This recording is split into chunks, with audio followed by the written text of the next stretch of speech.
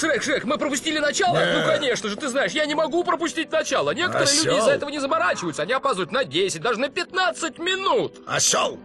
Но не я, ох, я должен увидеть все, даже анонсы, особенно анонсы. Осел! Смотри, ничего пока не началось, ясно? Так что сядь, сядь. А, ну хорошо, тогда хорошо. Осел, ты сидишь у меня на коленках. О, извини, Шрек.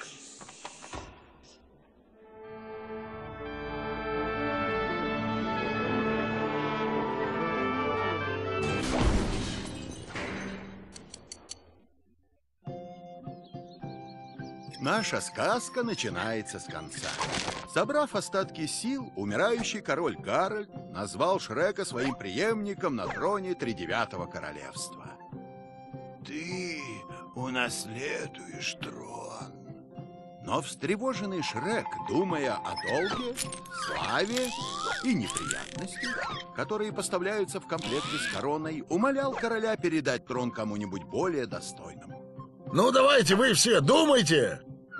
Тогда, уже едва дыша, король-лягушка подарил Шреку слабую надежду.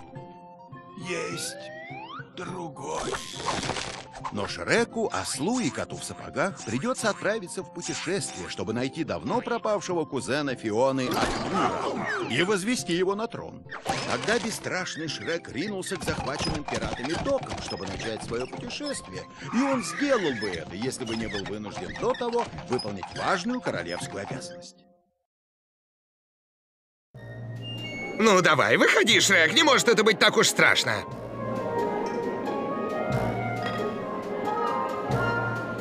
О, это совсем не так страшно, Шрек.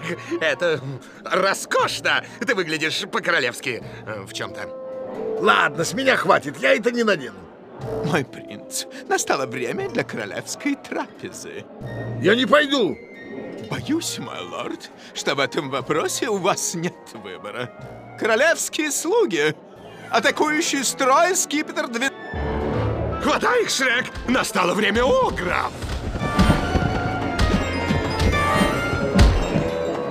Пыльца фей, Шрек! Хватай! Отбивайся, Шрек!